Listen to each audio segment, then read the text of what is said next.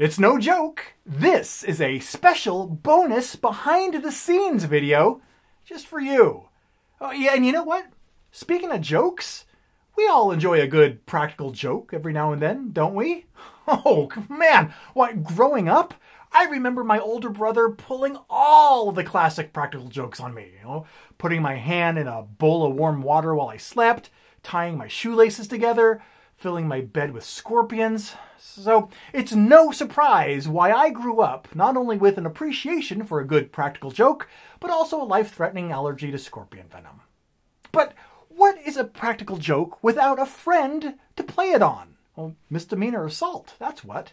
And that is why, during my recent trip to the Origins Game Fair, when I noticed fellow board game content creator and friend of the show, Marty Connell of the Rolling Dice and Taking Names podcast, shuffling cards a very unusual and particular way, I knew right then and there, as a wink and a nod to him, that I had to work a reference to this terribly lousy way that he has of shuffling cards into a video that I was working on at that very time about different methods of shuffling.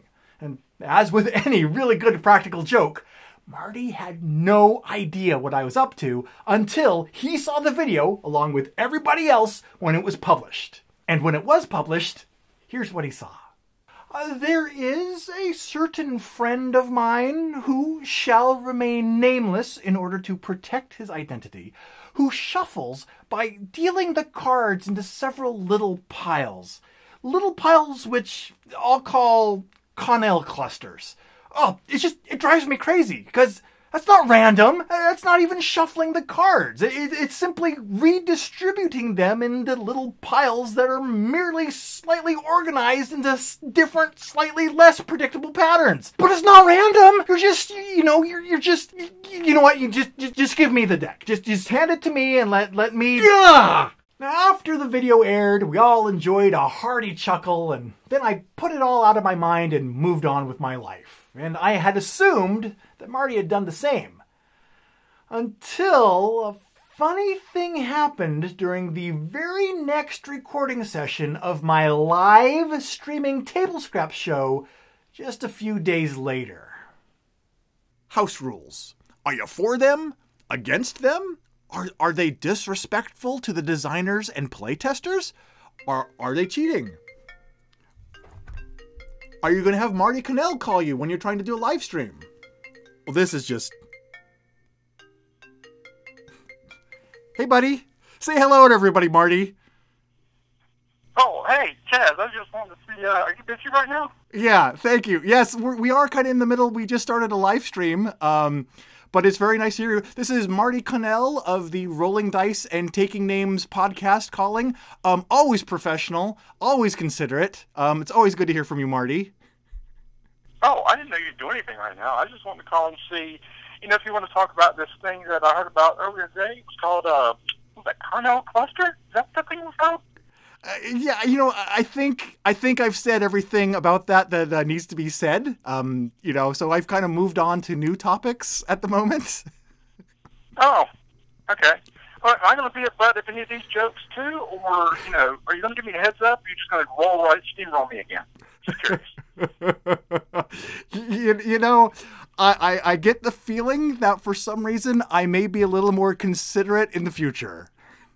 Oh, okay. All right. Well, I just, you know, that's, I mean, that's cool. I'm used to being a butt of a joke. But I, I will say this, Chad. I was kind of, when we were at Origins and we were playing games and you were writing stuff in your in your notepad, I thought that was your diary, and you were talking about how great it is to sit here and play with my. sister. Oh, Marty, Marty, Marty, Marty, I'm afraid, sorry, I'm afraid we're out of time, Marty. So uh, we we got to go. But it was really nice hearing from you, and um, I'm sure. Oh, I, okay, Jeff. Yeah. Uh, well, let's let's uh, let's try again sometime. What do you think?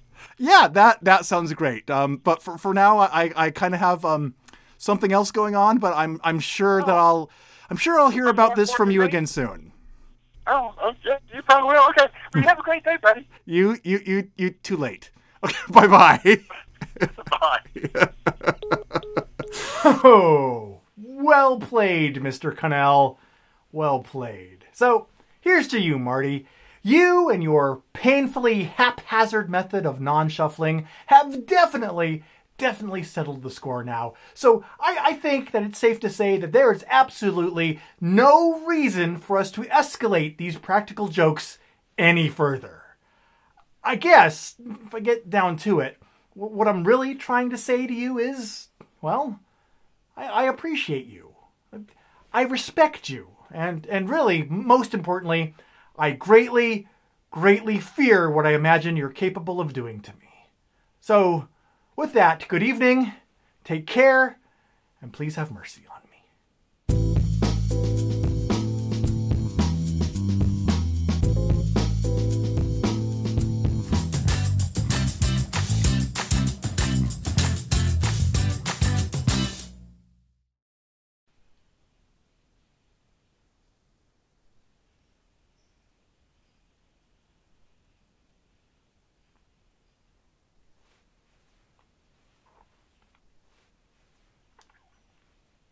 And it's sentient, not sentient. Okay, there. Now we're even. Right?